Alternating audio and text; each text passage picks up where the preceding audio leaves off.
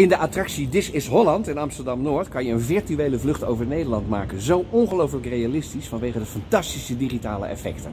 Ik was en ben daar de tourguide in en die opname vond plaats voor greenscreen, een groene muur en op een groene vloer vanwege die digitale effecten dus.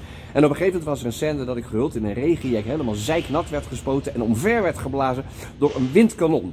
Helaas hadden ze me erg goedkope schoenen gegeven van een soort imitatie Sky van ik schat 6,95 met keiharde hakken. Je voelt hem al aankomen. Op een gegeven moment gleed die hak uit op de groene verf en klap ik met de binnenkant van mijn knie op de vloer. Oké, nou ja, oké, shit happens. Dan ga je naar de huisarts en dan, dan vraagt die huisarts hoe kom je aan die blessure? En dan moet je uitleggen dat je op goedkope plastic hakken bent uitgegleden op groene verf omvergeblazen door een windkanon. En dan zie je zo'n man toch kijken en dan krijg je ineens een recept voor pillen mee die niks met je knie te maken hebben. En dan kom je bij de apotheek en dan lever je dat briefje en dan zie je ze aankijken van ja, zag het al een tijdje aankomen wel. Ja, heel oncomfortabel allemaal.